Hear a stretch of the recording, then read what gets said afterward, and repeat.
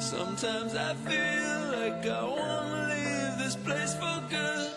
Under the ground, I'll live down there without a sound. I never hear these hissing voices all the same. I'll disappear, cause living